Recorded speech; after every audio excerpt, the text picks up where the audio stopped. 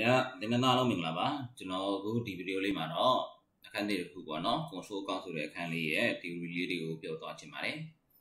အဲ့တော့ကျွန်တော်တို့ဒီ control account အခန်းကိုမပြောခင် source of document ပေါ့နော် source of document လေးကိုကျွန်တော်အစားဆုံးတော့ပြန်မပြောဘူးနည်းနည်းလေးပြန်ပြီးတော့ပြောချင်တယ်ပေါ့နော် accounting project လေးပေါ့ကျွန်တော်တို့ကစီးစရာရေးဒီဆွဲတဲ့အချိန်မှာဒီစီးရင်နေဘယ် လိုဖြစ်လာလဲဆိုတော့ transition လေးကိုတော့သိရမယ်အဲ့တော့ကျွန်တော်တို့စီးရင်နေစပြီးဆွဲတဲ့အချိန်မှာကျွန်တော် source of document လို့ခေါ်တဲ့ invoice တွေ voucher တွေဒီလိုစာရေးစာတမ်းတွေရာချက်လက်တွေကိုကျွန်တော်တို့ကဗမာစီးရင်သွင်းလဲဆိုလို့ရှိရင်အရင်တော့လည်းကျွန်တော်ပြောပြီးသားဒီဘုတ်တွေမှာစီးရင်သွင်းတယ်ဟလာနေစဉ်စီးရင်စာအုပ်တွေအယောင်ဆိုလဲအယောင်နဲ့ပတ်သက်တဲ့နေရာသွားဟုတ်ပြီနော် ပြီးရင်အဝယ်ဆိုလဲအဝယ်နဲ့ပတ်သက်တဲ့နေရာသွားငွေအဝင်ထွက်ဆိုရင်လည်းငွေအဝင်ထွက်နဲ့ပတ်သက်တဲ့လေရောက် cash book ဒီမှာစီးရင်သွင်းကြတယ်ဒါမျိုး day book ဒီမှာစီးရင်သွင်းတယ်ပြီးရင် day book ကအကြောင်းအရာတွေဘယ်ကိုသွားလဲဆိုတော့ကျွန်တော်တို့ ledger account တွေကိုသွားတယ် ledger တွေကိုသွားတယ်တော့တဲ့ကျွန်တော်တို့ဒီမှာ control account ခန်းမှာတင်မှာတော့အဓိကဖြစ်ပါလဲဆိုရင်ဒီ ledger ပေါ့နော် ledger ပိုင်း လေယာပြီးရင်တော့ ledger account တွေမှန်မှန်ကို try နဲ့စစ်တယ် try ပြီးရင် adjustment တွေညှိပြီးတော့ final account ဆက်လက်ပြီးတော့ရေးဆွဲတယ်အဲ့တော့ကျွန်တော်ဒီနောက်ပိုင်းကိစ္စတွေကိုတော့ရင်တော့လည်းမကြာခဏပြောဘူးပြီးသားဆိုတော့အခန်းတိုင်းလိုလိုပြောထားတာဆိုတော့ပြန်တော့မပြောတော့ဘူးဒီ ledger ledger မှာကျွန်တော်တို့အရင်သိနေကပြောမှုတယ် ledger မှာဘယ်နှမျိုးရှိလဲဆိုရင် ledger 2မျိုးရှိတယ်ဟုတ်ပြီနော်အားလေးကိုကျွန်တော်ပြန်ပြီးတော့နှွေပေးခြင်းတယ် လေချာမှာဘယ်နှမျိုးရှိရလဲဆိုရင်လေချာဒီ2မျိုးရှိတယ်အဲလေချာ2မျိုးဒီဘာတွေလဲဆိုရင်နံပါတ်1က personal ledger နံပါတ်1ဒီဘာလဲဆိုရင် personal ledger နံပါတ်2ကျတော့ဘာလဲဆိုရင်ကျွန်တော်တို့ general ledger အဲ့တော့ ledger မှာ2မျိုးရှိနေတယ်။ဘာနဲ့ဘာနဲ့လဲဆိုရင် personal ledger နဲ့ general ledger ဆိုပြီးတော့2မျိုးရှိနေတယ်။ဒီ personal ledger ကိုနောက်တစ်မျိုးဘယ်လိုခေါ်သေးလဲဆိုလို့ရှိရင်ကျွန်တော်တို့ nominal ledger လို့လည်းခေါ်တယ်။ personal ledger ကိုနောက်တနည်းအားဖြင့်ဘာလို့လဲခေါ်သေးလဲဆိုရင် nominal ledger လို့လည်းခေါ်တယ်။ဟုတ်ပြီ။ဒါဆိုလို့ရှိရင်ကျွန်တော်တို့ဒီ source of document လို့ခေါ်တဲ့ invoice ကအကြောင်းအရာတွေဟုတ်ပြီနော်ဘယ်ထဲကိုသွားလဲဆိုရင် day book ဒီတွေကိုသွားတယ် အဲ့ဒီ day book မှာကျွန်တော်အခုဥပမာပြောချင်တာပထမဦးဆုံးတစ်ခုအနေနဲ့ဆေး day book ကလေးအကြောင်းကိုယူလို့စပြီးတော့ပြောချင်တယ်ဟုတ်ပြီနော်ပထမဦးဆုံးကျွန်တော်စပြောချင်တာဒီပါလဲဆိုရင်ဆေး day book ဆေး day book ဆိုတာဒီဘာတွေစီးရင်သွင်းတာလဲဆိုရင်ចောင်းသားចောင်းသူတွေအနေနဲ့သိပြီးသားဖြစ်တယ်ဆေး day book ထဲမှာစီးရင်သွင်းတာဒီကျွန်တော်တို့ credit sale လို့ခေါ်တဲ့အကျွေးရောက်တာတွေကိုစီးရင်သွင်းတာ မမီမယ်နော်မမမီလည်းပြန်ပြီးတော့ဟာလာ memory လေးတွေပြန်ခေါ်တာ CD ဘုတ်ထဲမှာစည်ရင်သွင်းတာဒီဘာတွေကိုစည်ရင်သွင်းတာလဲဆိုရင် credit sale လို့ခေါ်တဲ့အကျွေးရောက်တာတွေကိုစည်ရင်သွင်းတာဟုတ်ပြီအဲဆိုရင်ကျွန်တော်တို့အနေနဲ့ CD ဘုတ်ကလေးကိုဆွဲပြီးတော့ကြည့်အောင်ဟုတ်ပြီနော်ကျွန်တော်တို့ဘာလေးကိုစပြီးတော့ဆွဲကြည့်မလဲဆိုရင် CD ဘုတ်ဒီဘုတ်ဆိုတဲ့အတွက် date ရဲ့ particular ရဲ့ amount ရဲ့ပါမယ်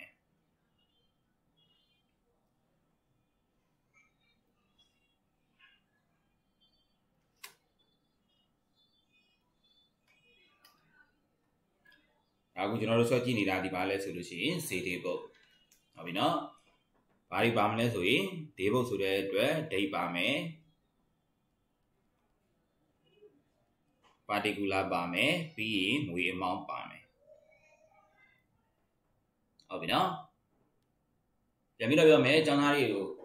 CD book ထဲမှာစီးရင်သွင်းမှဒီဘာတွေကိုစီးရင်သွင်းမှလဲဆိုရင် credit sale လို့ခေါ်တဲ့အကျွေးရောက်တာတွေကိုစီးရင်သွင်းတာဟုတ်ပြီနော်ပြောပြီးကျွန်တော်တို့ပြောကြည့်မယ် ဥပမာအနေနဲ့တရက်2လ2020ပေါ့နော်တရက်2လ2020မှာကျွန်တော်တို့ကဘယ်သူ့ကိုအကျွေးရောင်းလိုက်လဲဆိုရင် Mr. A ဆိုတဲ့ customer ကိုကျွန်တော်တို့ကအကျွေး300ကိုရောင်းလိုက်တယ်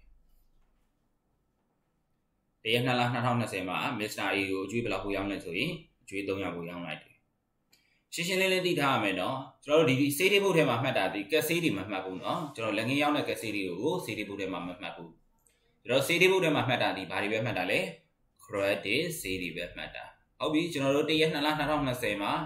base star ကြီးကိုကျွန်တော်တို့အကျွေးဘယ်လောက်ကိုရောင်းလိုက်လဲဆိုရင်300ဒေါ်လာ300ကိုရောင်းလိုက်တယ်ဟုတ်ပြီပြီးကျွန်တော်တို့က9ရက်2လ2020လဲကြာလိုက်ကြအောင် Mr. V ကိုကျွန်တော်တို့ဘယ်လောက်ဖို့ရောင်းလိုက်လဲဆိုတော့အကျွေး400ကိုရောင်းလိုက်တယ်ဟုတ်ပြီနော်9ရက်2လ2020မှာ Mr. V ကိုကျွန်တော်တို့အကျွေးဘယ်လောက်ဖို့ထပ်ရောင်းလိုက်လဲဆိုရင်အကျွေး400ကိုရောင်းလိုက်တယ်အပြီးကျွန်တော်တို့က17ရက်2လ2020မှာပဲ Mr. A ကိုကျွန်တော်တို့ကအကျွေး100ကိုထပ်ပြီးတော့ရောင်းလိုက်တယ်ဟုတ်ပြီနော်17ရက်2လ2020မှာ Mr. A နောက်ထပ်ထပ်ဝယ်တယ်ဘယ်လောက်လဲဆိုရင်100အကျွေးရောင်းလိုက်တယ်ဟုတ်ပြီနော်ပြီးရင်18ရက်2လ2020 Mr. C ဆိုတဲ့ customer ကိုကျွန်တော်တို့ကဘယ်လောက်ကိုရောင်းလိုက်လဲဆိုလို့ရှိရင်အကျွေး200ကိုရောင်းလိုက်တယ်ဟုတ်ပြီနော် Mr. C ဆိုတဲ့ customer ကိုအကျွေးဘယ်လောက်ကိုထပ်ရောင်းလိုက်လဲဆိုရင်200ကိုရောင်းလိုက်တယ်ဒါဆိုဒီလမှာနောက်ထပ်အယောင်းတွေလည်းကျွန်တော်တို့ထပ်မရှိတော့ဘူးဟုတ်ပြီနော်ဒီလတစ်လလုံးအယောင်းတွေလည်းထပ်မရှိတော့ဘူးနောက်ထပ်ရောင်းတာမရှိတော့ဘူးဒါဆိုလို့ရှိရင်ကျွန်တော်တို့ကဒေးဘုတ်ကိုစီရင်ပိတ်မယ်ဟုတ်ပြီနော်ပိတ်တော့ ဒီလတစ်လလုံးကိုကျွန်တော်တို့အကျွေးရောင်းလိုက်တာဘယ်လောက်ရောင်းလိုက်လဲဆိုရင်စုစုပေါင်းအနေနဲ့ပေါင်းလိုက်မယ်ဆိုရင်တော့ကျွန်တော်တို့1000ဟုတ်ပြီနော်စုစုပေါင်းဒီလတစ်လလုံးမှာအကျွေးရောင်းလိုက်တာဘယ်လောက်ရှိလဲဆိုရင်1000ဟုတ်ပြီနော်အဲ့တော့ကျွန်တော်တို့ကဒီ customer တယောက်ချင်းစီကိုရောင်းတဲ့အခါမှာကျွန်တော်တို့ Mr. E ကို300ကိုရောင်းလိုက်တယ် Mr. B ကို400 Mr. E ကိုနောက်ထပ်100ထပ်ရောင်းတယ် Mr. C ကို200ကိုရောင်းတယ် ကျွန်တော်တို့တယောက်ချင်းစီကိုဘယ်လောက်ဖို့စီရောင်းထားတယ်ဆိုတာလေးတွေကိုမမှတ်လို့ရလားဆိုတော့မရဘူးဟုတ်ပြီနော်တို့တယောက်ချင်းစီကိုဘယ်လောက်ဖိုးတွေစီရောင်းထားလဲဆိုတာကိုလိုက်ပြီးတော့မမှတ်လို့မရဘူးမမှတ်ပဲကျွန်တော်တို့ကပြောက်တော့ကြီးထားမယ်ဆိုရင် AC မှာဘယ်လောက်ရစရာရှိလဲဟေ့မသိဘူး BC မှာဘယ်လောက်ရစရာရှိလဲဟေ့မသိဘူးဒါကျွန်တော်လုံးလုံးတဲ့ဥပမာပြောနေတာ Mr. ABC ဆိုတဲ့ customer 3ယောက်ပဲရှိသေးတယ်တကယ်လက်တွေ့စီးပွားရေးလုပ်ငန်းမှာဆိုရင် customer တွေအများကြီးရှိနေနိုင်တယ် အဲ့လို customer အများကြီးရှိနေတဲ့ဟာကိုကျွန်တော်တို့ကလေကြာအကောင့်လေးတွေဆွဲပြီးတော့မှတ်မထားဘူးဆိုလို့ရှိရင်မရဘူး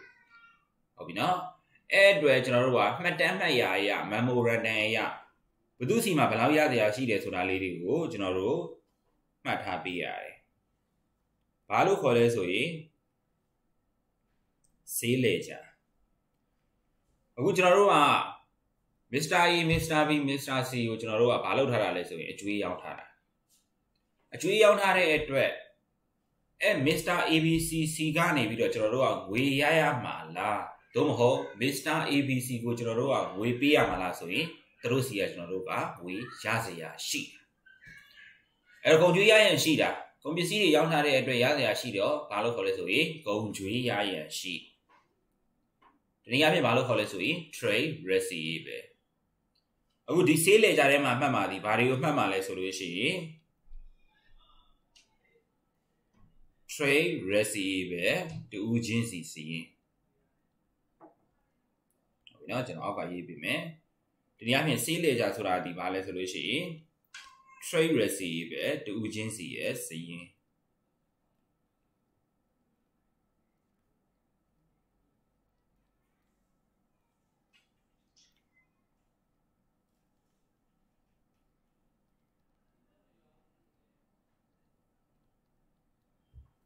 ဟုတ်ပြီနော်ဈေးလေကြဆိုတာဒီပါလဲဆိုရင် trade receipt ပဲတူးချင်းစီရဲ့စီရင်ဥပမာအနေနဲ့ကျွန်တော်တို့အကြမ်းများအဖြစ်ဒီအကောင့်လေးတွေထောင်းကြည့်မယ်ကျွန်တော်တို့ customer ကနေယောက်ကိုရောင်းထားလဲဆိုရင်3ယောက်ကိုရောင်းထားတယ်ဒါဥပမာပေးတာဖြစ်တဲ့အတွက်ကျွန်တော်တို့တိတိကျကျကြီးတော့ date particular နဲ့တော့မဆွဲတော့ဘူးပေါ့နော်ဒီအကောင့်လေး3ကောင်ဆွဲကြည့်မယ်ဘယ်သူတွေလဲဆိုရင် Mr. A ရယ် Mr. B ရယ် Mr. C ရယ်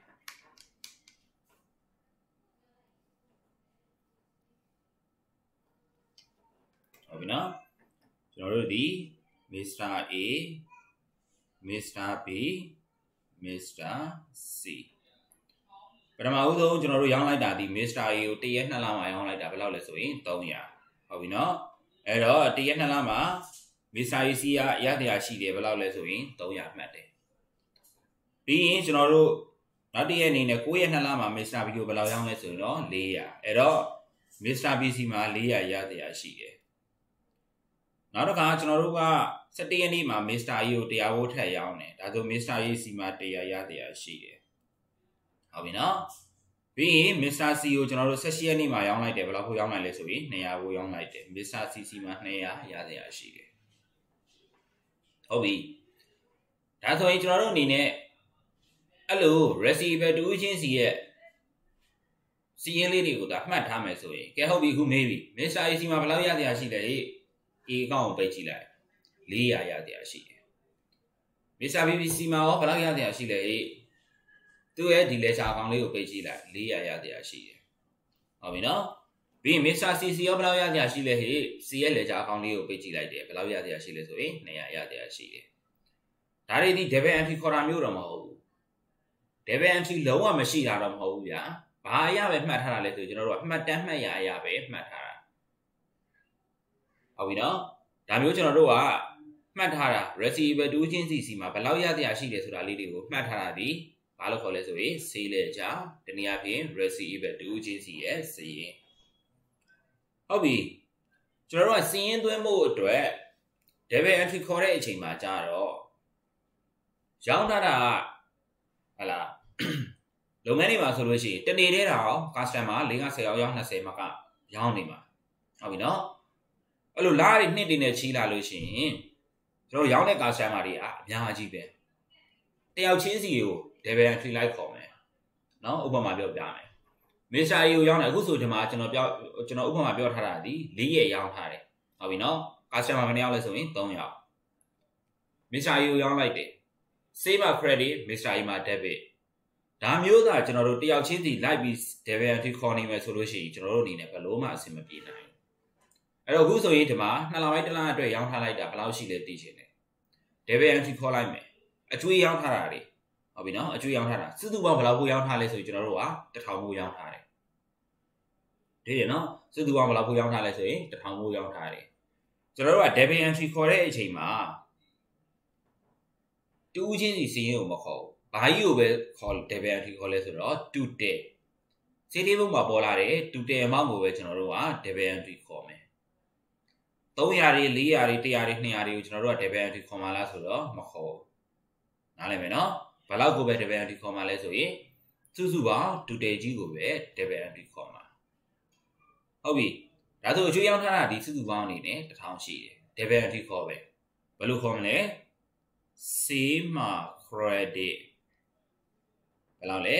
ဒေါ်လာတော့မထည့်တော့ဘူးเนาะဈေးမှာ credit 1000 ဗမာ debit ဖြစ်မလဲဆိုရင်အကျွေးရောင်းထားတာဖြစ်တဲ့အတွက် to the receivable မှာ debit 1000နားမနော်အားလေးကို debit အဖြစ်ခေါ်တာနော်ကျွန်တော်ဒီမှာနည်းနည်းကတ်ရေးနေရလို့ဒီ1000လေးကို debit အဖြစ်ခေါ်တာဘယ်လို debit အဖြစ်ခေါ်လဲစေးအကျွေးရောင်းထားတာ credit စေးပေါ့နော် credit စေးမှာ credit ဒေါ်လာ1000ပြီးရင် ကျွန်တော်တို့အကျွေးရောင်းထားတာဖြစ်တဲ့အတွက်ဈေးမှာ credit receivable မှာ debit receipt REC လို့ပဲရေးရမယ်ဗျာမှာကားလို့ to the receivable မှာ debit 1000ဒါမျိုးပဲ debit ဒီခေါ်မှာဟုတ်ပြီနော်ဒါဆိုလို့ရှိရင်ကျွန်တော်တို့ကစီဒီဘုတ်မှာပေါ်လာတဲ့ ဟာလားစီဒီဘုတ်မှာပေါ်လာတာစီဒီဘုတ်မှာစီရင်သွင်းတာတွေကအဓိကအပြင်အကျွေးရောင်းတာတွေစီရင်သွင်းတာအဲ့တော့အကျွေးရောင်းတာတွေစီရင်သွင်းတဲ့အချိန်မှာကျွန်တော်တို့က receiver တူးချင်းစီစီရင်ကိုမမှတ်လို့ရလားဆိုတော့မရဘူးအဲ့ဒီအတွက်ကျွန်တော်တို့ဘာရကြတော့မှတ်လဲဆိုရင် memorandum ရကြတော့မှတ်တယ်ဘာလို့ခေါ်လဲဆိုရင် sale ledger လို့ခေါ်တယ် receiver တူးချင်းစီစီရင်ဟုတ်ပြီနော်ဒါကိုစီရင်သွင်းတယ်ပြီးရင်ကျွန်တော်တို့ double entry ခေါ်တဲ့အချိန်ကျတော့အဲ့ဒီ receiver တူးချင်းစီစီရင်ကိုသွားပြီးတော့ double entry မခေါ်ဘူးဘာကြီးကိုပဲ double entry ခေါ်လဲဆိုတော့ two day ကိုပဲ double entry ခေါ်တယ်အဲ့တော့ two day ကို double entry ခေါ်တော့ဘယ်လိုခေါ်လိုက်ဆိုရင် same မှာ credit two day receiver မှာ debit အဲ့ဒီ two day receiver ကိုနောက်တစ်မျိုးဘယ်လိုခေါ်သေးလဲဆိုတော့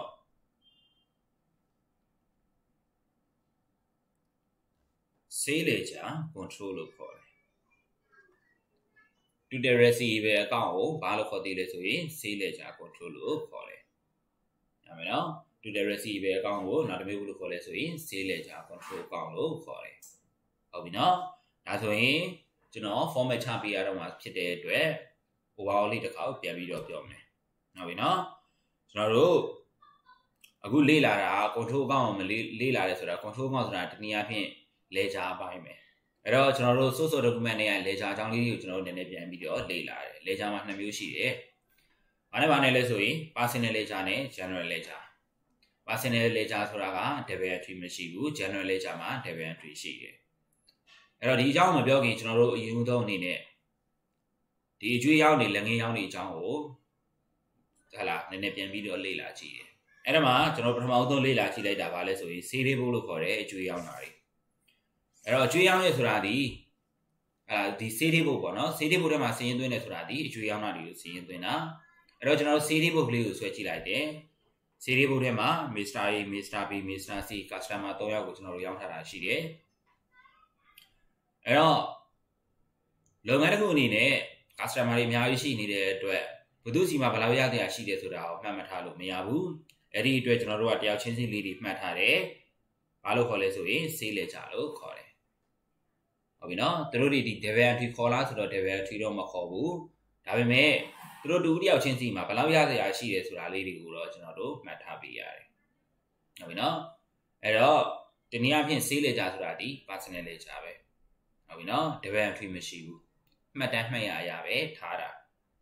အဲ့တော့ကျွန်တော်တို့ devil entry ခေါ်တဲ့အချိန်ကျတော့ဘာလို့ devil entry ခေါ်လဲဆိုရင်တူတယ်ကြီးကိုပဲ devil entry ခေါ်တယ်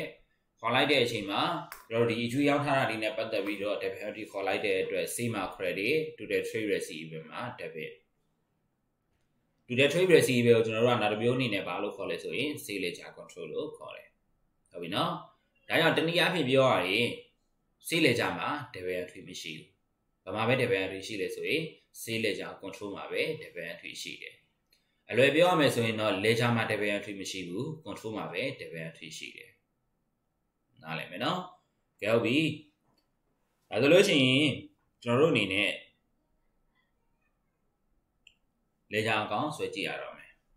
ဟုတ်ပြီနော်အခုဘာလေချာအကောင့်ကိုဆွဲကြည့်မလဲဆိုတော့ C လေချာ control ကောင့်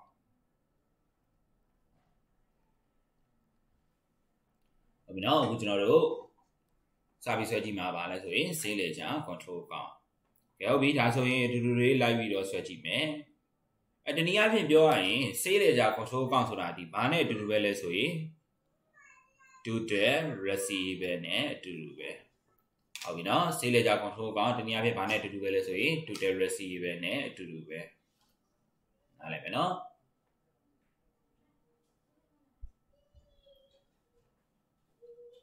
အဲဆိုကျွန်တော်တို့အခုဆွဲကြည့်မှဒီဘာကိုဆွဲကြည့်မှလဲဆိုရင် to the receiver အကောင့်ကိုဆွဲကြည့်မှာဟုတ်ပြီနော်ကဲအဲ့တော့ကျွန်တော်တို့ date တော့မထည့်တော့ဘူးဟလာပုံမှန်အတိုင်းဆိုရင်တော့ date ကတော့ပါတယ်ပေါ့နော်ဓမ္မကတော့ format ပေးတာဆိုတဲ့အတွက်ကျွန်တော် date တော့မထည့်တော့ဘူးဘာပဲဘာဘာနဲ့ဘာပဲရှိမလဲဆိုရင် particular လေးနဲ့ amount လေးပေါ့နော်ဒီနေရာလေးပဲကျွန်တော်တို့ဦးစားပေးပြီးတော့ဆွဲသွားမယ်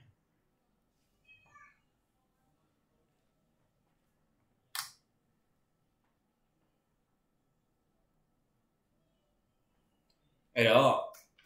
ဟိုကျွန်တော်ဆဲမှာဒီ receiver က receiver ဆိုတာဒီကျောင်းသားတွေအနေနဲ့တည်မယ်လုပ်ငန်းတွေနဲ့ကြည့်မယ်ဆိုရင်ဘာမျိုးစားလဲဆိုရင် asset မျိုးစားအဲ့တော့ receiver ဆိုတဲ့အတွက် opening ကဘယ် site မှာရှိမလဲဆိုရင် debit side မှာရှိမယ် credit မှာတော့တုံးလေးတုံးထားခဲ့အခက်တသေးလေးဟုတ်ပြီနော် receiver ဆိုတဲ့အတွက် opening ဒီဘယ် site လဲဆိုရင် debit side ဟုတ်ပြီနော် receiver ဆိုတဲ့အတွက် opening ဒီဘယ် site လဲဆိုရင် debit side ပြီးရင်ကျွန်တော်တို့ကအကျွေးရောင်းပြီဟုတ်ပြီနော်ဒီတနေ့တည်းမှာအကျွေးရောင်းလိုက်ရင်ကျွန်တော်တို့က debit entry ဘယ်လိုသွားမလဲဆိုတော့ဈေးမှာ credit trade receiver မှာ debit ဒါအခုကျွန်တော်ဆွဲနေတာဒီ sale ledger control လို့သာပြောတာတနည်းအားဖြင့် to the receiver အကောင့်ကြီးအဲ့ဒီအတွက်အကျွေးရောင်းလိုက်ပြီဆိုရင် sale အကောင့်မှာကျတော့ credit အခုကျွန်တော်တို့ဆွဲနေတဲ့ receiver အကောင့်မှာကျတော့ debit ဒါကြောင့်စီးရကြ control ကောင်းရဲ့ debit side မှာဘာရှိမလဲဆိုတော့ credit စီအကျွေးရောက်တာရှိမယ်ဟုတ်ပြီနော် credit စီလို့ခေါ်တယ်အကျွေးရောက်တာရှိမယ်ဒါဒီဘာအကောင်းကြီးလဲဆိုရင် receipt ပဲဒီနည်းအားဖြင့်ကုန်ကျွေးရတဲ့အရှိတဲ့အကောင့်ဒီနှစ်အတွင်းမှာကျွန်တော်တို့က customer တွေစီကနေပြီးတော့ဘာဖြစ်လဲဆိုရင်ငွေရတာမျိုးတွေရှိမယ်ဟုတ်ပြီနော်သူတို့ကဒီနေ့အတွင်းမှာကျွန်တော်တို့ကိုကျွေးလာဆက်တာမျိုးတွေရှိမယ်ဟုတ်ပြီ အဲဆိုငွေရတယ်ဆိုရင် debit entry ဘယ်လိုသွားမလဲဘယ်သူတွေစီရရတာလဲ trade receiver တွေစီကရတာငွေရပြီဆိုရင်ကျွန်တော်တို့က debit entry သွားတော့မယ် cash on ဘက်မှာ debit trade receiver မှာ credit ဟုတ်ပြီနော်အဲ့တော့ကျွန်တော်တို့ငွေရပြီခေဆိုလို့ရှိရင်ဘယ် site မှာရှိမလဲဆိုတော့ credit site မှာရှိမယ် cash receipt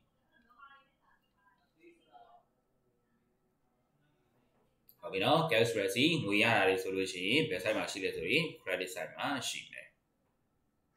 ဟုတ်ပြီနော်ငွေရတာတွေဆိုရင်ဘယ် site မှာရှိမလဲ credit site မှာရှိမယ်ပြီးရင်ကျွန်တော်တို့အနေနဲ့ဒီ customer တွေစီကငွေရတဲ့အချိန်မှာဟုတ်ပြီနော် customer တွေစီကငွေရတဲ့အချိန်မှာ discount တွေပါတယ်ကျွန်တော်တို့ကပြီးလိုက်ကြတာမျိုးတွေလည်းရှိတယ်ဆိုလိုချင်တာဗျာဥပမာအနေနဲ့ customer တယောက်စီကကျွန်တော်တို့ကအကျွေး1000ရတဲ့အရှိတယ်ဆိုပါစို့ဟုတ်ပြီနော် customer တယောက်စီကအကျွေး1000ရတဲ့အရှိတယ်သူ့စီကကျွန်တော်တို့က3လနေမှရမယ်ဟုတ်ပြီနော်3လနေမှရမယ်အဲ့တော့ကျွန်တော်တို့က2လနဲ့ပြန်လို့ရှင်တဲ့အတွက်2လနဲ့လာဆက်ဟေးငါတို့က discount 10%ပေးမယ်5%ပေးမယ်အစရှိသဖြင့်ပေါ့အဲ့လို discount ပေးလိုက်တယ်ဆိုရင်ကျွန်တော်တို့ရစရာရှိတဲ့ amount တော့မြန်မြန်ရတယ်ဒါပေမဲ့ပုံမှန်ရတဲ့ amount ထက်ဘာဖြစ်သွားလဲဆိုရင်ရော့ပြီးတော့ရသွားတယ် ဟုတ်ပြီနော်ဒါကြောင့် discount ပေးလိုက်ကြတာမျိုးတွေဆိုလို့ရှိရင် receiver ရော့သွားမှာဆိုတဲ့အတွက်ဘယ် site မှာရှိမလဲဆိုရင် credit site မှာရှိမယ်ကိုက discount ပေးလိုက်ကြရရေးဆိုလို့ရှိရင်ဘာလို့ခေါ်လဲဆိုရင် discount amount လို့ခေါ်တယ် debit entry ကတော့ discount amount expense account မှာ debit cash out bank မှာ sorry ဟို receiver မှာ credit ဒီနေ့အပြင် discount allowance ဆိုတာကတော့ cash book ကိုသွားတာပေါ့နော် discount allowance ဆိုတာ cash book ကိုသွားတာအဲ့တော့ cash book မှာရှိတဲ့ discount allowance မှာ debit receivable မှာ credit ဟုတ်ပြီနော်ဘယ်တနည်းအားဖြင့် discount ပေးလိုက်ကြတယ်ဆိုရင်ကိုရစရာရှိတဲ့အကျွေးတွေရော့သွားတာဒါကြောင့် credit side မှာရှိတယ်ဒါဆိုသုံးခုရှိပြီ credit side ရဲ့ငွေရတာရဲ့ discount allowance ပဲရှိတယ် ပြီးကျွန်တော်တို့အနေနဲ့အခုဒီမှာတည်ထားတဲ့ open need တွေ credit sale တွေဆိုတာ customer တယောက်ချင်းစီကိုရောင်းထားတာမဟုတ်ဘူးလုပ်ငန်းတစ်ခုလုံးမှာရှိနေတဲ့နာဒီကျွန်တော်လုပ်ငန်းတစ်ခုလုံးမှာရောင်းထားတာဒီအကုန်လုံးအပေါ်မှာခြုံငုံပြီးတော့တွက်တာအဲ့ဒီအတွက်ရောင်းထားတဲ့ customer တွေထဲမှာမှန်မှန်ကန်ကန်နဲ့ငွေဆက်တာရှိတယ်လို့တချို့ကမဆက်နိုင်လို့အကျွေးဆုံးသွားတာမျိုးတွေလည်းရှိတယ်ဘာလို့ခေါ်လဲဆိုရင် bad debt တော့ bad debt ဆိုရင် debit entry ဘယ်လိုသွားမလဲဆိုတော့ bad debt expense ကောင်းမှာ debit trade receipt ပဲမှာကြာတော့ credit ရတဲ့ရှိတဲ့အကျွေးတွေညော့သွားတယ်။ဘာလို့ခေါ်လဲဆိုရင် bad debt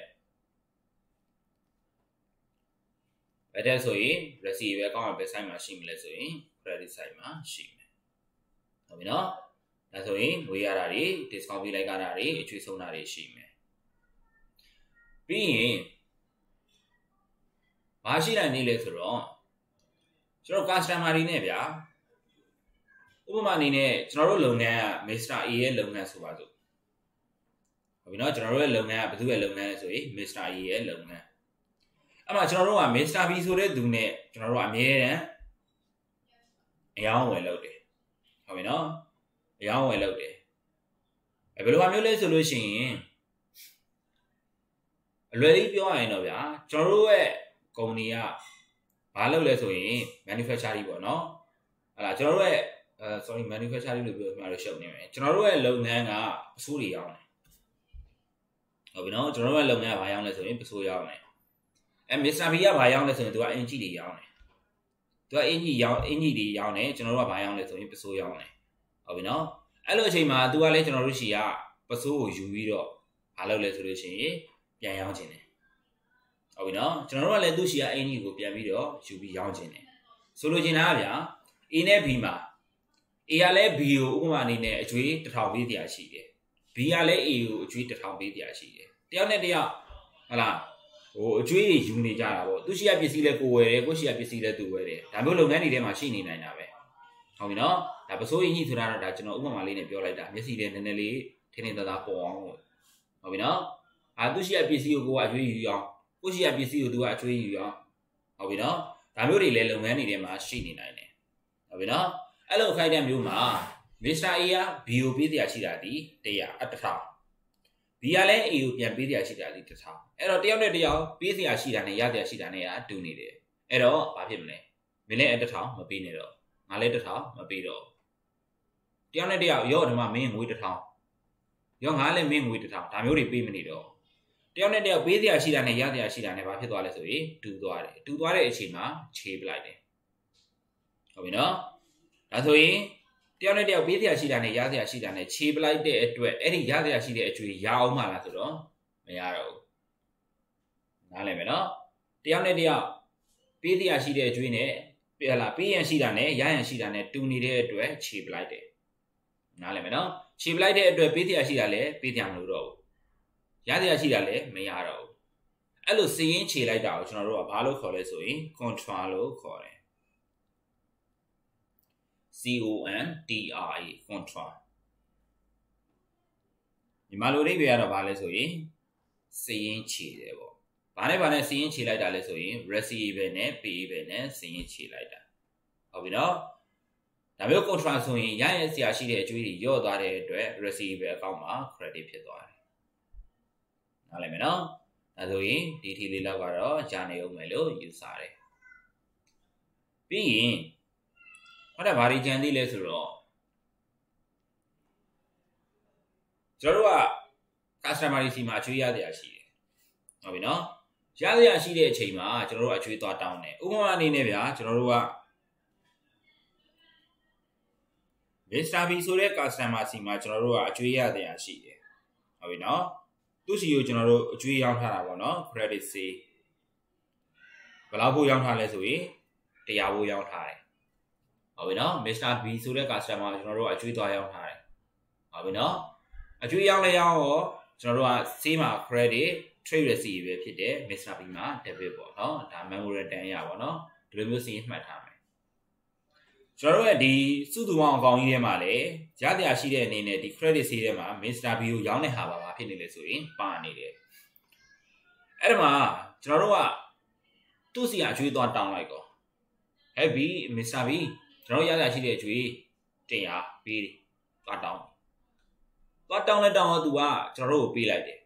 ပေးတဲ့အချိန်မှာလက်ငင်းငွေသားနဲ့မပေးဘူးဘာနဲ့ပေးလိုက်လဲဆိုချက်လက်မှတ်နဲ့ပေးလိုက်တယ်ချက်လက်မှတ်နဲ့ပေးလိုက်တယ်ချက်လက်မှတ်မှာဒေါ်လာ100ဆိုပြီးတော့ရေးပေးလိုက်တယ်အာ100ဆိုပြီးပေါ့နော်ဒါဝင်မောက်တော့ line မတွက်နဲ့ပေါ့100ဆိုပြီးပေးလိုက်တယ်ဒါဆိုကျွန်တော်တို့က debit entry သွင်းတဲ့အခါမှာ Mr. BC ကငွေရပေးပြီဖြစ်တဲ့အတွက် cash out ဘက်မှာ debit Mr. B မှာ credit ချက်လက်မှတ်နဲ့ပေးလိုက်တဲ့အတွက်ဘဏ်မှာ debit Mr. B မှာ credit ဆိုပြီးတော့စီရင်သွင်းလိုက်တယ်သူစီရတရားကျွန်တော်တို့ရပြီပြီဆိုတဲ့အတွက် debit နဲ့ credit တရားတရားချင်းဘာဖြစ်သွားပြီလဲဆိုရင်ခြေသွားပြီ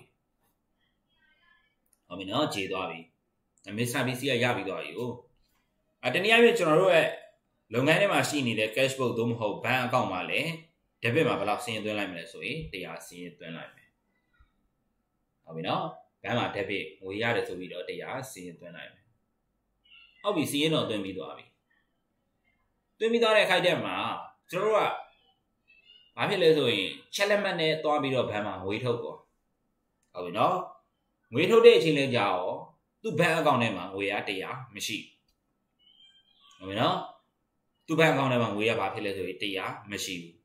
မရှိတော့ကျွန်တော်တို့ကငွေရလာဆိုတော့မရဘူးအဲ့တော့ ရောပြန်ပြန်ပြီးတော့နောက်တစ်ချိန်ဘာပြန်လုပ်ရလဲဆိုတော့မရသေးတဲ့အတွက်ဘဏ်မှာပြန်ပြီးတော့မိုက်တယ်ပြဘဏ်မှာ credit ရရရှိအနေနဲ့တခါထပ်ဖို့ receive မှာ debit ပြန်ဖော်ရတယ်နားလည်မလားမသိဘူးတစ်ချက်ပြန်ပြောမယ်ကျွန်တော်တို့ကပထမ Mr. BC ကနေကျွေးတရားရတရားရှိတယ်ငွေရလိုက်တဲ့အတွက်ဘဏ်မှာ debit Mr. B မှာအလုပ်ခေါ်တဲ့ trade receiver မှာ credit လို့စီရင်သွင်းလိုက်တယ်။ဒါငွေရပြီအထင်နဲ့ကျွန်တော်တို့ကစီရင်သွင်းလိုက်တယ်။ တကယ်တကယ်ဘဏ်မှာလည်းချက်လက်မှတ်နဲ့ငွေသွားလဲထုတ်တော့ငွေရမရဘူး။မရတဲ့ခိုက်တဲ့မျိုးမှာကျွန်တော်တို့ကမရတဲ့အတွက်ပြောင်းပြန်အနေနဲ့ပြန်ပြီးစီရင်သွင်းရမယ်။ပထမဘဏ်မှာငွေအဝင်ကြီးပြမိတဲ့အတွက်ငွေတကယ်မရတဲ့အတွက်အထွက်ပြန်ပြခြင်းတဲ့အတွက်ဘဏ်မှာ credit ငွေမရသေးတဲ့အတွက်အဲ့ဒီချက်လက်မှတ်နဲ့ပေးလိုက်တဲ့ receipt ပဲစီမှာရရရှိအနေနဲ့ပြန်ခေါ်ရမယ် receipt ပဲမှာ debit ဟုတ်ပြီနော်ဘက်မှာ credit တရားပြန်ခေါ်တယ် receipt ပဲမှာလည်း debit တရားပြန်ခေါ်တယ်ဟုတ်ပြီနော်အဲ့လိုဘဏ်ကနေပြီးတော့ဒါညင်းပယ်လိုက်တာပေါ့ဟုတ်ပြီနော်ငွေမင်းငွေဘဏ်ထဲအကောင့်ထဲမှာငွေမရှိတဲ့အတွက်ဘဏ်ကတော့ထုတ်ပေးမှာမဟုတ်ဘူးလေအဲ့လိုဘဏ်ကနေပြီးတော့ညင်းပယ်လိုက်တဲ့ဘာလို့ခေါ်လဲဆိုရင် DISHO NOURED dishonor CHEGUE ပေါ့နော် dishonor checks ဘဏ်ကညင်းပယ်လိုက်တဲ့ဆိုရင် receiver မှာဘယ် site ကနေပြန်ပြီးတော့စာရင်းသွင်းလဲဆိုရင် debit site ကနေပြန်ပြီးတော့စာရင်းသွင်းတယ်ဟုတ်ပြီနော် dishonor check ဟုတ်ပြီနော် dishonor check ဆိုတာဒီမြန်မာလိုအဓိပ္ပာယ်လေးဘေးနားမှာကတ်ရေးထားအောင်မေ့မယ်ဟုတ်လားခုချိန်ကတော့စိတ်ထဲမှာမှတ်မိနေအောင်မယ်နောက်ပိုင်းကျရင်ဗီဒီယိုဖိုင်လေးနဲ့တင်နေတာဆိုတဲ့အတွက် ပြန်ပြီးအစားဆုံးဘယ်ဖိုင်မှာလဲပြန်ပြီးတော့မကြည့်နိုင်ဘူးဒီဆောနာချက်ဆိုတာဘာလဲဆိုရင်ဘန်ကညင်းပယ်ခံရတာဟုတ်ပြီနော်အဲ့လိုမျိုးဆိုရင်ဘယ်ထဲမှာစီးရင်သွင်းမလဲဆိုရင် debit side မှာပြန်ပြီးတော့စီးရင်သွင်းမယ်ရရရှိအနေနဲ့ပြန်ပြီးတော့ပေါ်တယ်ဟုတ်ပြီနော်ဒါဆိုရင် dishonor check ကိစ္စလေးလည်းနားလည်မယ်လို့ယူဆတယ်ဟုတ်ပြီနော်ပြီးရင် dishonor check ပြီးသွားပြီဆိုလို့ရှိရင် နောက်တစ်ခုအနေနဲ့တချို့ customer တွေကကျွန်တော်တို့ကိုကိုရရရှိတဲ့ငွေကိုသွားတောင်းတဲ့အချိန်မှာပတ်ပြေးနေတာတွေဟာလားအချိန်ပြည့်နေပြီဗျာဟာလားကိုက3လဆိုင်နဲ့ရောင်းထားတယ်ဆိုရင်3လပြည့်လို့သွားတောင်းတယ်မပေးဘူးတလဆိုင်နဲ့ရောင်းထားတယ်တလပြည့်လို့သွားတောင်းတယ်မပေးဘူးဟုတ်ပြီနော်အဲ့လိုအချိန်မျိုးမှာကျွန်တော်တို့ကအော်သူမှမပေးတော့တာဟိအကျွေးဆုံးဆိုပြီးတော့ပေါ်ပေါ်လေးသွားလုပ်လို့မရဘူးဘာလုပ်ရမလဲမရရအောင်တောင်းမယ်ဘလို့မှတောင်းလို့ပြုလို့အဆင်မပြေဘူးဆိုတော့ဘာလုပ်မလဲ တရားရုံးကတစင်တိုင်းပြီးတော့တောင်းမယ်ဟုတ်ပြီနော်အဲ့တော့တရားရုံးကနေတစင်တိုင်းတောင်းရပြီဆိုလို့ရှိရင်တရားရင်ဆိုင်လာပြီဆိုရင်ရှင်းနေကားတွေဟာလားဒါတွေကုန်လာတော့မယ်အဲ့တော့ကိုရရရှိတဲ့အကျွေးကိုကိုကတိုင်ပြီးတော့တောင်းတာဆိုတဲ့အတွက်ဒီရှင်းနေကားတွေကုန်တဲ့ဟာကိုလေကျွန်တော်တို့ကဘယ်သူစီရပဲထပ်ပြီးပေါင်းထည့်မလဲဆိုအဲ့ဒီရရရှိတဲ့ recipe ပဲမှာပဲပေါင်းပြီးတော့မှတ်မှာဟိုကနေတော့ကိုကတစ်ထောင်ရရရှိတယ်ရှင်းနေတွေဘာတွေခါပြီးတော့ခေါ်လိုက်ကဟလာ ကုံသွားတာ100လောက်ကုံသွားတယ်စုစုပေါင်း1100ဖြစ်သွားတယ်ငါတို့100 1000ငါတို့ရရင်ကျင်းနေပြီဒါမျိုးသွားလို့မရအောင်ဘာဖြစ်လဲဆိုတော့1100လုံးမရရအောင်တောင်းပါပဲဟုတ်ပြီနော်အဲ့တော့အဲ့လို legal fee လို့ခေါ်တဲ့ဟာလာဥပဒေဆိုင်ရာဇရိတ်တွေရှိလို့ရှိရင် receive မှာပဲဆိုင်လဲဆိုရင် debit လောလောဆယ်တော့ကျွန်တော်တို့မှာ cash မှာ credit ပေါ့နော် receive မှာ debit ဖြစ်တယ်လောလောဆယ်တော့ကျွန်တော်တို့ဘက်ကနေငွေစပြီးတော့ထွက်ထားရတယ်ဒါပေမဲ့ပြန်တောင်းပါ ဟာလာအလန်းအသက်တော့အကုန်မခံနိုင်ပြန်တောင်းပါဒါမျိုးတွေရှိမယ်နောက်ဆုံးတစ်ခုအနေနဲ့ကတော့ဗာလဲဆိုတော့သုံးလပြည့်လို့ကျွန်တော်တို့ကအကျွေးသွားတောင်းတယ်ဒီခါကျတော့ तू ကအခုလိုမျိုးဒီ legal fee တွေပေးရတယ်လို့မျိုးဟိုပတ်ပြေးနေတာတွေမျိုးမဟုတ်ဘူးဟာလားပြဿနာတက်နေတာမျိုးတွေမဟုတ်ဘူးသုံးလပြည့်သွားပြီတယောက်နဲ့တယောက်ကလည်းသိနေတယ်သူ့ဘက်ကလည်းလုပ်ငန်းအရှုံးတွေပါတွေပေါ်နေတယ်အဲ့လိုအချိန်မျိုးမှာ အဆင်မပြေဘူးဟုတ်ပြီနော်သုံးလပြည့်သွားတယ်ကျွန်တော်တို့ကဘယ်လောက်ဖို့ရောင်းထားလဲဆိုတော့တစ်ထောင်ဖို့ရောင်းထားတယ်သွားတောင်းတယ်ဟေးငါတစ်ထောင်သုံးလပြည့်ပြီပြီးတော့အဲ့ဒီမှာ तू ကငွေကြေးအဆင်မပြေဘူးမပြေတဲ့အချိန်မှာဟာငါတော့အဆင်မပြေဘူးသုံးလပြည့်နေတာတော့မှန်တယ်သုံးလအတွင်းပေးရမှာတော့မှန်တယ်အဲ့တော့ငါမပေးနိုင်တဲ့အတွက်အဲ့ဒီပေးတရားရှိတဲ့ငွေတစ်ထောင်ပေါ်မှာလစဉ်လာတိုင်းအတိုးနဲ့မှတ်ပေးပါငွေထက်ချီးတဲ့သဘောမျိုးဖြစ်သွားတာပေါ့ ဟုတ်ပြီနော်ငါတလားအတွင်းရအောင်ဆက်မယ်အဲ့တော့ဒီတလားစာငါအတိုးပေးမယ်သို့မဟုတ်ငါနှစ်လအတွင်းတော့ရအောင်ဆက်မယ်အဲ့နှစ်လစာငါအတိုးပေးမယ်ဒါဆိုကျွန်တော်တို့ကပထမရတရားရှိတဲ့တစ်ထောင်ပြီးနောက်ထပ်ပါလဲဆိုရင်အတိုးပါထပ်ရမယ်ဘာလို့ခေါ်လဲဆိုရင် interest charges လို့ခေါ်တယ် sorry interest charge လို့ခေါ်တယ် C H interest charge ဒါဆို interest charge ဆိုရင်လည်းပမာပဲရှိတယ်ဆိုလို့ရှိရင် credit side မှာပဲ sorry debit side မှာပဲရှိတယ် receivable ရဲ့ debit side မှာပဲရှိတယ်ဟုတ်ပြီဒါဆိုလို့ရှိရင်ဩတခုကြမ်းခဲ့မယ်ဘာလဲဆိုတော့ကျွန်တော်တို့ကအကျွေးရောင်းထားတယ်ဆိုလို့ရှိရင် debit ဘယ်လိုသွားတာလဲဆိုတော့ same မှာ credit trade receipt မှာ debit ရစရာရှိတာလေးအနေနဲ့မှတ်ထားတယ်ဟုတ်ပြီနော် အဲဒါပေမဲ့တခါတည်းမှာ customer တွေကကိုရောင်းထားတဲ့ပစ္စည်းတွေမကြိုက်လို့ပြန်ပို့တာမျိုးလည်းရှိတယ်ဒီနေ့အပြင်ဘာလို့ခေါ်လဲဆိုရင် sale return လို့ခေါ်တယ် sale return ဆိုရင်တော့ debit ဘယ်လိုတော့သွားလဲဆိုရင်ဟာလား sale return မှာ debit receivable မှာ credit sale return နေရှိနေ receivable မှာ credit side မှာရှိနေမယ်အဲ့တော့ကျွန်တော်ဒီအပေါ်နဲ့အောက်ကလေးနည်းနည်းလေးပြန်ချင်းခြင်းနဲ့ sale return ကိုအပေါ်မှာတင်ခြင်းနဲ့ဟု ပြီနော် sale return ကိုအပေါ်မှာထားမယ် control အောက်ဆုံးမှာထားမယ်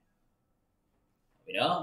ဒါဆိုရင်တော့နှစ်ကုန်တဲ့အချိန်ကြာရင်တော့ဟာလာနှစ်ကုန်လားကုန်တဲ့အချိန်စည်ရင်ပိတ်ပြီးဟေ့ဆိုလို့ရှိရင်ကျွန်တော်တို့ပိတ်နေတာဒီ receipt ပဲအကောင်းကြီးဆိုတဲ့အတွက် close ကတော့အမြဲတမ်းဘယ် site မှာပဲပေါ်သွားမလဲဆိုရင် credit side မှာပဲပေါ်မယ်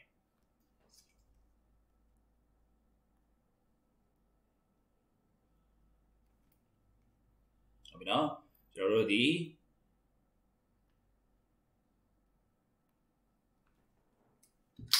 receiver account ဆိုတဲ့အတွက်စီးရေးပိတ်ရင်တော့ close ရတော့ပဲ site မှာပဲပေါ်မလဲဆိုရင် credit site မှာပဲပေါ်မယ်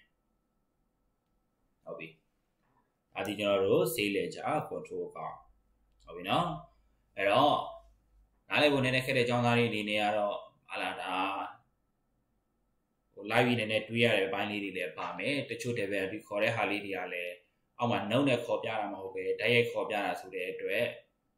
ဟိုအစင်မပြေရင်တော့နောက်တစ်ခါလောက်ကလေးပြန်ကြည့်လိုက်တာတော့ပို့ပြီးတော့တင်နေအောင်မယ်ဒါခင်ဗျားတို့အတွက်လည်းဒေါင်းမကြည့်တာဆိုတဲ့အတွက်တိတ်ပြီးတော့ပြဿနာတော့မရှိတော့ဘူးလို့ယူဆတယ်ဟုတ်ပြီနော်အဲ့တော့ဒါလေးကိုတေချာလေးကြည့်ပေးကဲဟုတ်ပြီဒီအထိနားလဲပြီဆိုလို့ရှိရင်ကျွန်တော်နောက်နည်းနည်းတဆင့်ထပ်တက်စရာလေးရှိတယ်ဘယ်လိုအမျိုးလဲဆိုတော့ဥပမာအနေနဲ့ဗျာကျွန်တော်တို့က Mr. B ဆိုတဲ့ customer နဲ့ကျွန်တော်တို့လုပ်ငန်းတွေကအမြဲတမ်းအလုပ်ကိုတူတူလုပ်နေတယ် Mr. B ဆိုတဲ့ customer ကျွန်တော်တို့စီကနေပြီးတော့ထုတ်သမျှကုန်ပစ္စည်းတွေကိုသူကအမြဲတမ်းကုန်ပစ္စည်းတွေထုတ်တယ်ထုတ်ရင်သူအမြဲတမ်းလို့လို့လာပြီးတော့ဝယ်တယ်ဟုတ်ပြီနော်အကျွေးဝယ်တယ်ပေါ့ Mr. B ဆိုတဲ့ customer ကကျွန်တော်တို့စီအမြဲတမ်းကုန်ပစ္စည်းတွေဝယ်ပြီးသူကပြန်ပြန်ပြီးတော့ရောင်းနေတယ်တစ်လပိုင်းနဲ့ဝယ်တယ်နှစ်လပိုင်းနဲ့ဝယ်တယ်သုံးလပိုင်းနဲ့ဝယ်တယ်လေးလပိုင်းနဲ့ဝယ်တယ် လားတင်လားတိုင်းကိုဝယ်ချမ်းပြီးတော့ကျွန်တော်တို့ရှိရနေပြီးတော့ဝယ်ပြီးတော့ပြန်ပြီးတော့ချောင်းနေတယ်။ချောင်းနေတဲ့အချိန်မျိုးမှာကျွန်တော်တို့ကဥပမာအနေနဲ့တလားဆိုင်နဲ့ရောင်းရောင်းနေတယ်။သုံးဟုတ်နှစ်လားဆိုင်နဲ့ရောင်းရောင်းနေတယ်ပေါ့ဗျာ။အဲ့တော့ Mr. B ဆိုတဲ့ customer ကိုကျွန်တော်တို့ကရောင်းလိုက်တာစုစုပေါင်းအနေနဲ့ဟာလားအာဥပမာထိုးပြမယ်။ Mr. B ဆိုတဲ့ customer ကိုကျွန်တော်တို့ရောင်းလိုက်တာစုစုပေါင်းအနေနဲ့ကျွန်တော်တို့ကဘယ်လောက်ဖို့ရောင်းနိုင်လဲဆိုရင်သူစီရရစရာရှိတာ950 ဆေးပေါ့နော်ကျွန်တော်တို့အလွယ်လေးပဲရေးပြတော့မယ်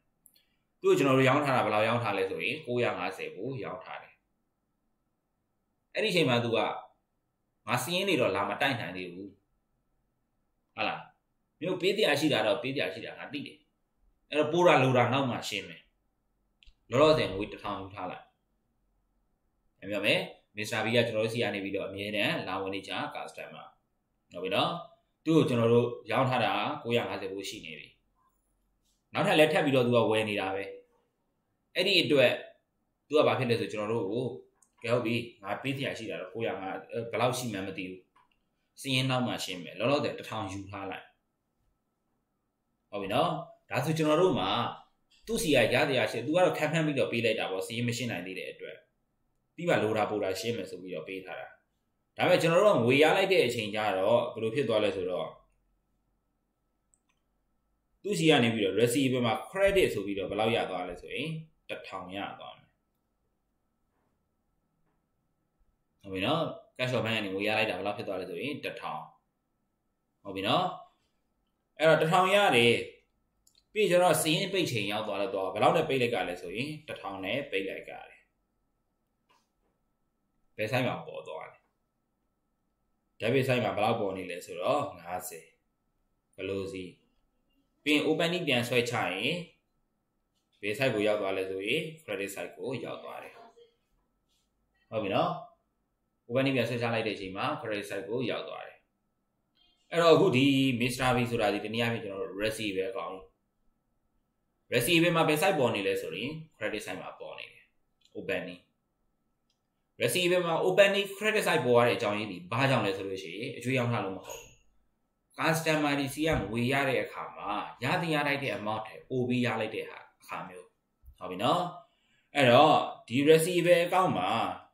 တစ်ခါတည်းရမှာ open credit site ရှိနေနိုင်တယ်ဒါပေမဲ့သူဒီအမောင်နည်းနည်းလေးတနည်းအားဖြင့် minor လို့ခေါ်တယ် debit မှာတော့အမြဲတမ်း100%ရှိနေ မှာ debit မှာတော့ဟလာ receive ရစရာရှိတဲ့လုံးပေါင်းအမောင်ကြီးကမူရင်းအတိုင်းအမြဲတမ်းရှိနေမှာသူ့ကိုတော့ဘာလို့ခေါ်လဲဆိုရင် major major ရစရာရှိတဲ့အမောင် credit ဘက်မှာပေါ်လာတဲ့အမောင်ကြတော့ minor လို့ခေါ်တယ်ဒီနည်းအားဖြင့်အမောင်အားဖြင့်တော့အမောင်တိတိလေးအမောင်အများကြီးမဟုတ်ဘူးဟုတ်ပြီနော်အမောင်အနေငယ်လေးတစ်ခါတရံမှရှိတတ်တာ debit မှာရှိတဲ့ opening ကတော့အမြဲတမ်းရှိနေမှာအဲတော့ closing ဆိုတဲ့အခါမှာလည်း credit side က closing ဒီပါဖြစ်သွားတော့မှာလဲဆိုရင် major debit side မှာရှိနေတဲ့ closing ဒီ minor ဟုတ်ပြီနော်ကဲအခုဒါကျွန်တော်ရှင်းပြခဲ့လေးရာလေးကတော့ဘာလဲဆိုလို့ရှိရင် receivable ledger control account so အဲ receivable ledger control account total receivable account တနည်းအားဖြင့် sale ledger control account လေးအကြောင်းကိုရှင်းပြပေးတော့တာပါဒီ sale ledger control account လေးနဲ့ပတ်သက်ပြီးတော့ machine လင်းတာရှိလို့ရှိရင် comment မှာမေးပေးနိုင်ပါတယ်ကျွန်တော်တို့ messenger group ထဲမှာလည်းမေးနိုင်ပါတယ်နောက်တဲ့ဗီဒီယိုမှာဟာလာဒီ purchase ledger control account အကြောင်းလေးကိုဆက်လက်ပြီးတော့ရှင်းပြပေးသွားပါမယ်အားလုံးပဲကျေးဇူးတင်ပါတယ်